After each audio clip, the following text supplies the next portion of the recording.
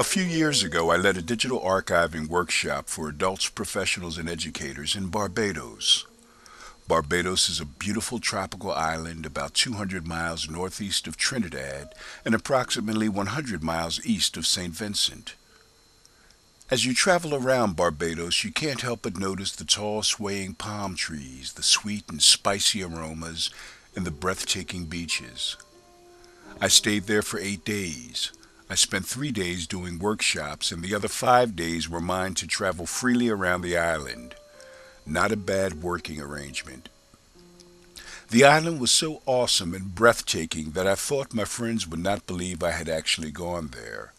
So to prove to them that I was actually there, a couple times I went down to the beach, put my video camera on a stump or on a boulder, and I recorded myself on videotape with the Atlantic Ocean splashing over my shoulders. The people on the beach probably thought I was insane talking to an unmanned camera, but when it was all said and done, I had proof that I was there.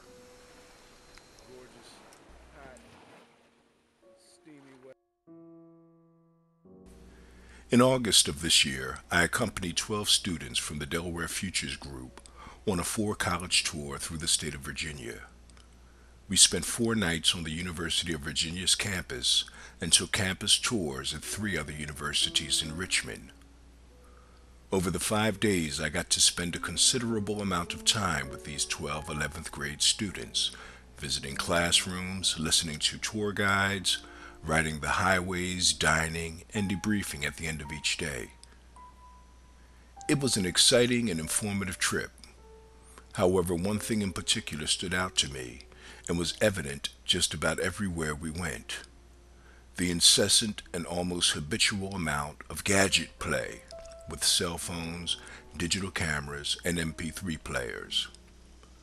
On the one hand, I was thrilled to see all the students with these high-tech multifunction devices but at the same time, I was quite disturbed at the amount of idle text messaging and frivolous conversing that seemed to consume at least 10 out of the 12 students on the tour. On our third day there, it was my turn to lead the debriefing session. By then, we had visited three campuses, and I had taken approximately 300 pictures of the town, the students, and our surroundings. During my debriefing session, I quickly shared my Barbados story with them, and then I asked them, if our trip were to end tonight, what proof would you have of having visited any of the universities that we had toured? All of the students had cell phones with video, still, and voice recording capability. All of the students had MP3 players but none of them had used any of their high-tech gadgets to document or to archive any of the important people, places, or things that we had experienced. I explained to the students that they could use their cell phones to take pictures of the campus buildings, the classrooms, and their tour guides. I told them that they could use the voice recorder feature of their cell phones to record important information about admissions requirements. I told them that their iPods and MP3 players were capable of holding as much information as could be found at the Douglas Wilder Library. My suggestions and recommendations must have had an influence on the students because the next day, half of the students were using their cell phones and digital cameras to take smart, functional, and meaningful pictures of the University of Virginia campus. The images they shot at the university library, the rotunda, and at the cafeteria could be used in a slideshow, in a blog post, or emailed to family and friends. What a refreshing sight! The students were well on their way to creating a digital record of their visit to the University of Virginia campus. But by lunchtime, many of them were back to sending frivolous text messages to their buddies back home and conversing idly while bopping to the beat of their MP3 players.